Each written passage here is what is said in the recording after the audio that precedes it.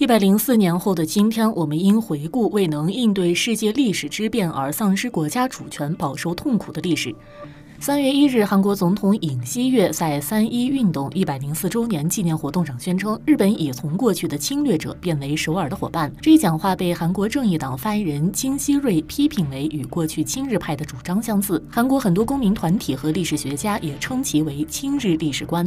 据法新社报道，根据韩国法律的规定，所谓亲日派是指在日本殖民朝鲜半岛时期获封头衔、逮捕或杀害独立运动人士的人。这些人大多已经死亡，但但因为种种历史和现实原因，韩国的亲日派并未得到彻底核算。该国亲日势力依旧强大，而这不仅为韩国的政治分裂埋下隐患，也对其外交产生深远影响。根据韩国亲日反民族行为人财产收归国家的特别法。亲日反民族行为人是指在朝鲜半岛逐步沦为日本殖民地的过程中，通过签订以斯条约、韩日合并条约等立功并获得相应地位的人，在日本殖民时期当过日本国会议员、参与日本驻朝鲜总督府中书院事务的人，以及杀害独立运动人士的人。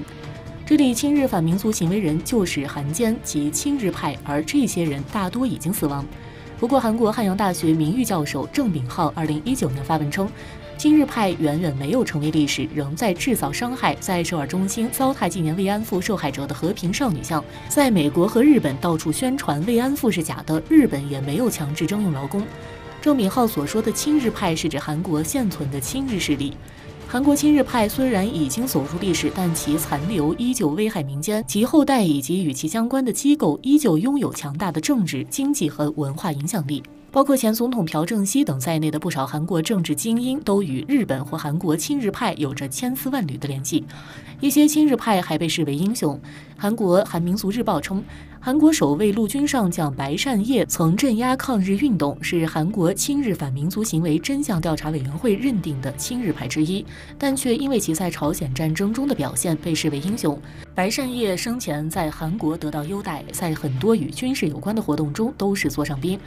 被称为韩国三大报纸的《朝鲜日报》《东亚日报》以及《中央日报》，其创始人都与亲日派或亲日势力有关。例如，《朝鲜日报》是作为韩国亲日经济团体机关报创刊的。近些年来，由韩国保守派形成的新右翼势力，根据自己的现实需要，随意歪曲历史，组织出版美化日本侵略、带有明显亲日倾向的教科书。另据韩国 KBS 电视台2022年报道，该国各地还保存着相当数量的亲日派铜像，仅京畿。道就有一百六十一座。在辽宁大学美国与东亚研究院院长吕超看来，韩国亲日势力仍较为强大，主要通过财阀集团得以体现。在韩国有军事上层亲美、经济大佬亲日的说法，即韩国军方高层大部分由美国培植，而财阀集团大部分和日本关系密切。从历史角度看，一些韩国大财阀集团就是在日本殖民时期发展起来的。韩国独立媒体机构 Newstepa 二零一五年推出的亲日和忘却系列节目则显示，在被日本殖民期间，亲日派在韩国拥有大约四百三十平方公里土地，相当于首尔面积的三分之二。